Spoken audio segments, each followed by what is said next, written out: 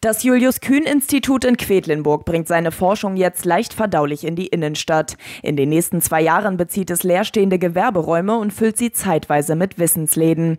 Der erste öffnet morgen zum Thema Wald, sagt uns Isabel Haberkorn vom JKI. Also wir wollen eigentlich den Wald mit allen Sinnen erlebbar machen. Man kann ihn schmecken, man kann ihn hören, man kann ihn riechen, man kann ihn anfassen.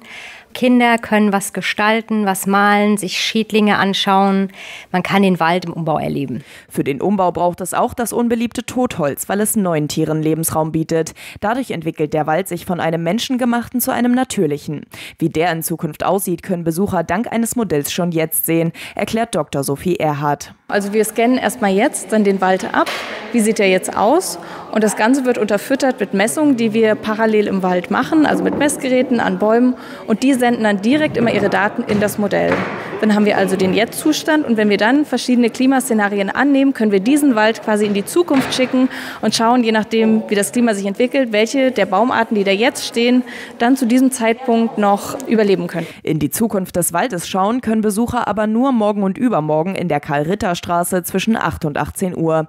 Dann ist der erste Wissensladen wieder weg und der nächste wird geplant. Aus Quedlinburg Swantje Langwisch, Radio SAW.